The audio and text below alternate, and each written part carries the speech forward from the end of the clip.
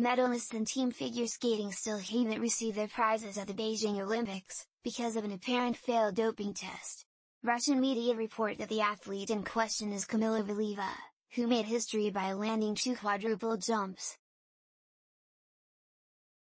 Reports surfaced on Wednesday that Valieva, 15, tested positive for a heart drug called trimetazidine, which can boost athletes' endurance and blood efficiency. Russian media outlets report that Valieva submitted the sample in question before winning last month's European Championship. Valieva returned to the ice Thursday after missing practice on Wednesday.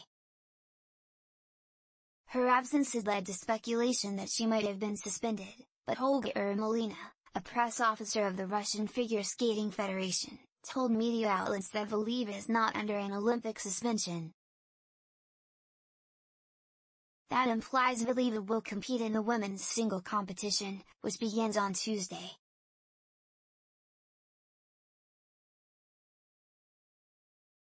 The team's medal ceremony for the Russian Olympic Committee, who won gold, the U.S., silver, and Japan, bronze, was called off on Tuesday because of what officials describe as a legal issue.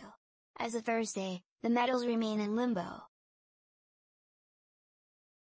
if Russia's win is thrown out, fourth place Canada would gain a spot on the podium and the U.S. would rise to take the gold.